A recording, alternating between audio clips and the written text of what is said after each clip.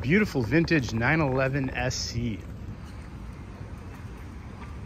If you think you know what year this is, please put it in the comments.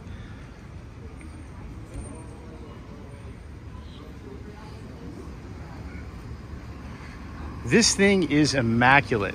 It looks like its original numbers. I love the interior. Those seats are phenomenal. The Fuchs rims. It looks like it's either a 69 or a 70.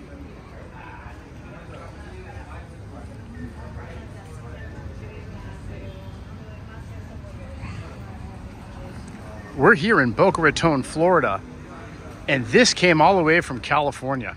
I would love to do that drive. In my opinion, it's totally upstaging the Aston Martin in front of it, but that's just me.